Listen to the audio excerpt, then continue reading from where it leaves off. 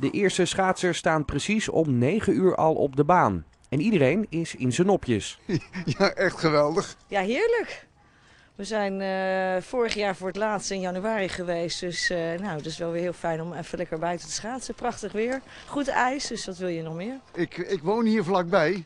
En ik, gisteravond heb ik nog uit mijn slaapkamerraam even gekeken. En dan zag ik de jongste zag ik aan de gang. Ik denk, hé, hey, dat gaat de goede kant op. Morgen schaatsen.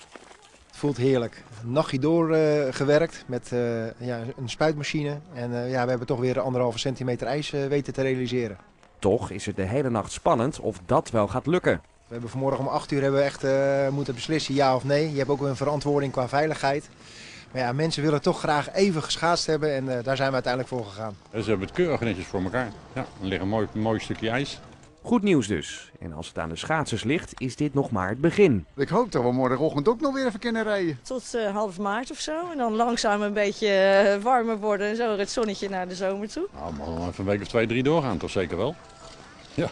We hopen vandaag ja, tot het uiterste te gaan, tot hopelijk vanavond. Want het is ook woensdagmiddag voor de kinderen. En dan morgen tot een uur of twaalf, want morgen schijnen de temperaturen echt boven nul te komen.